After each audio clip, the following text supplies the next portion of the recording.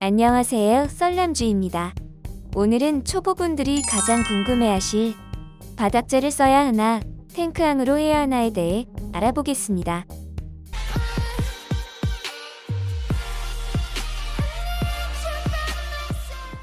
구피를 키우는 데 있어 바닥재의 역할은 매우 중요합니다. 그 첫 번째 기능은 pH를 조절해준다. 구피와 흑사를 예로 들어보면 구피는 약산성의 pH를 좋아하는데 흑사를 넣음으로써 안정적으로 pH를 약산성으로 유지할 수 있습니다. 두 번째 장점으로는 미생물 서식지를 제공한다입니다. 기본적으로 물속에는 호기성 박테리아가 존재합니다. 즉 산소를 좋아하는 박테리아가 암모니아 아질산 등을 분해합니다. 그리고 남는 것이 질산염입니다. 질산염은 물고기에게 해가 되진 않지만 적정 농도를 유지해주는 게 좋은데 이때 환수를 하거나 수초를 심어 농도를 낮춰줄 수 있습니다.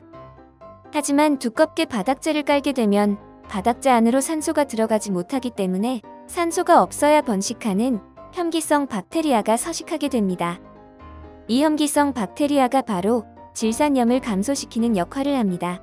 그렇기 때문에 보조 여과기의 역할을 함으로써 바닥재가 있을 경우 물을 더 안정적으로 유지할 수 있습니다.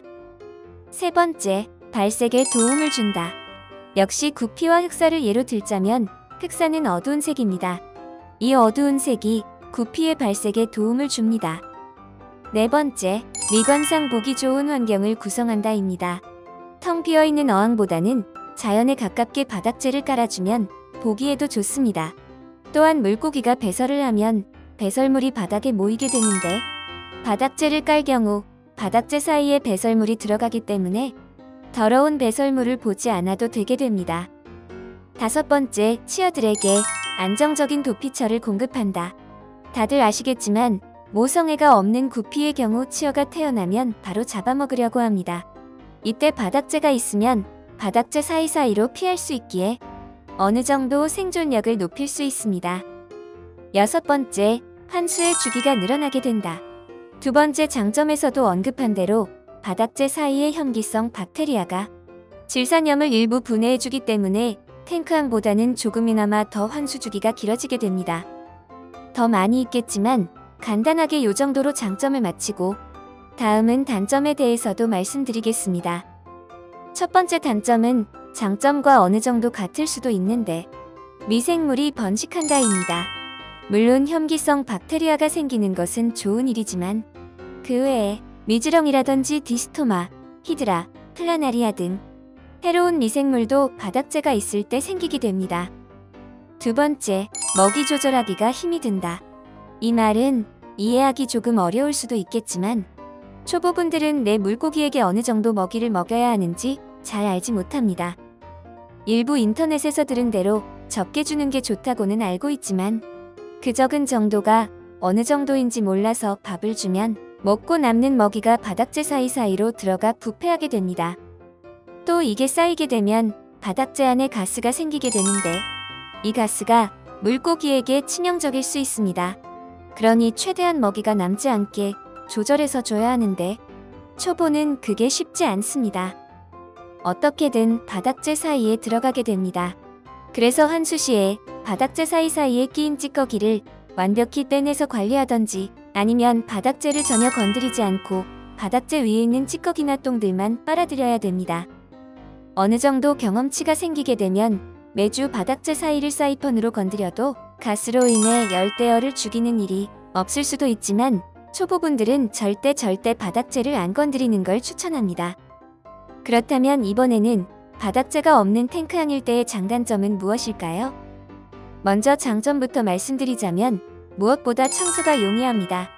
먹이를 얼마를 주던지 열대어가 배설물을 얼마를 싸던지 바닥재가 없으니 눈으로 다 보여 한수시의 먹이 찌꺼기와 배설물을 완벽히 제거할 수 있습니다.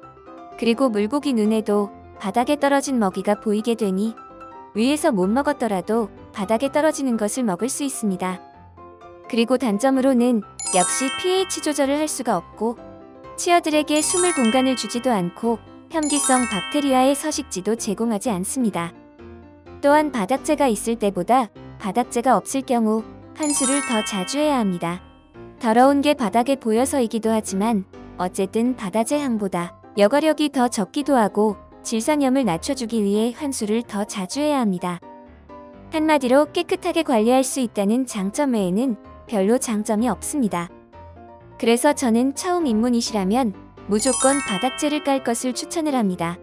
한데 요즘에 들어와서 생각이 조금씩 바뀌고 있습니다. 초보의 경우에 바닥재 깔고 바닥재 건드려서 폭탄을 맞느니 깔끔하게 탱크항으로 하는 게 좋지 않을까 하고요. 그러다가 생각한 게 대만식 브리딩 방식입니다. 기본적으로 환경은 탱크항으로 가서 청소와 관리가 용이하게 하고 한쪽에 바닥재를 넣어 바닥재의 장점들을 가지고 가자라고요. 그래서 이번에 바로 요 녀석을 구매했습니다. 바로 박스 저면 여과기입니다.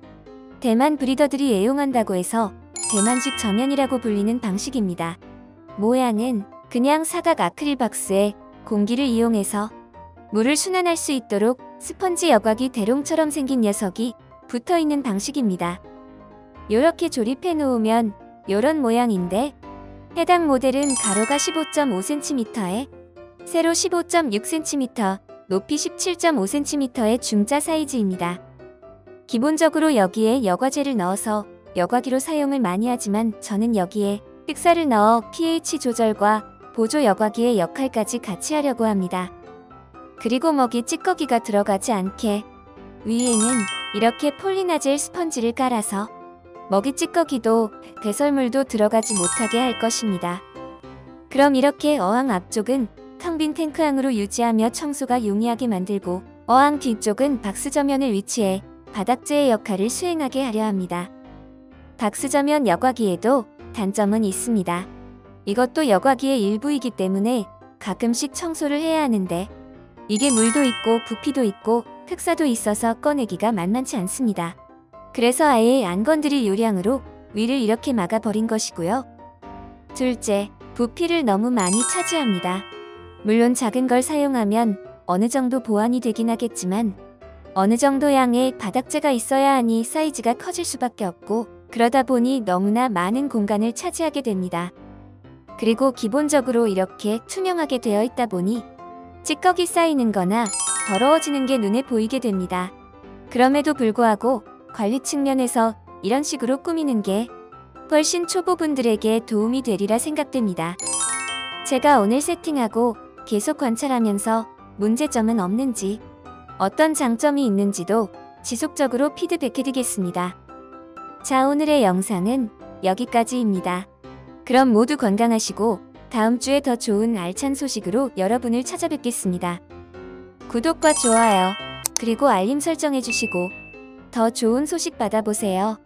그럼 모두 행복하세요.